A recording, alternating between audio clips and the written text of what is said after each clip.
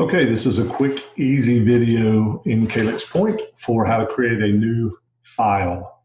So we have launched Calyx Point and we are at the launch screen.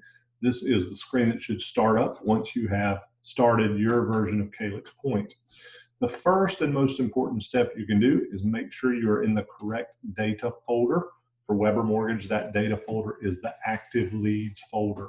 This is where we create and work with all the files we have until we submit that loan to processing. Let me make something clear to you. This does not have to be a loan for you to create a file.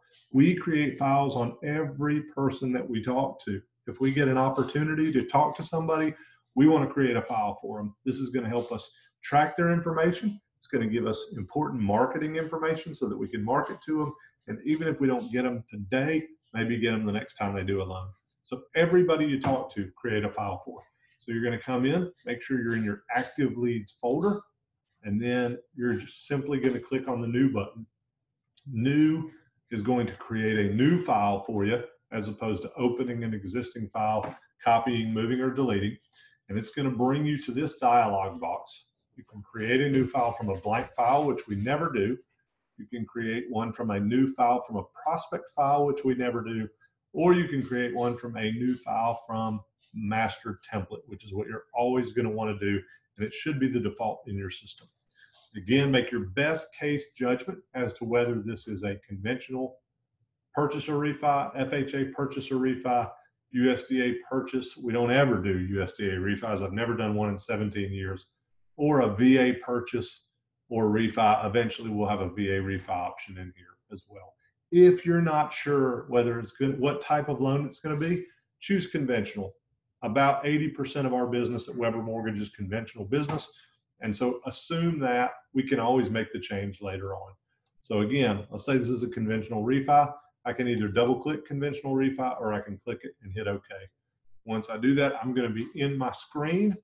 There are just a few pieces of information that I'm going to recommend that you get on every single file even before you save the file, you should get the name, John Q. Borrower, and you should get their nickname. If they go by John, put in John. If they go by Johnny, put in Johnny, whatever, and ask them how to spell it, by the way, and then get their cell phone number and their email address and I strongly recommend you also ask for their mailing address. If you don't ask for this, it's your own fault because all this is stuff that we can use to market to someone. That is the minimum amount of information I'm going to get on every file name, nickname, cell phone, email, and their address. Okay. Only other thing you want to make sure you do is choose yourself as the originator, and then you can click save and close that file. When you try to save that file, it's going to ask you what folder you want to save it in. You always want to save it in active leads unless you're ready to turn it into processing and you're going to let it use the auto file name. That's how you create a file and that's the, the basic information that you should have in every file that you create.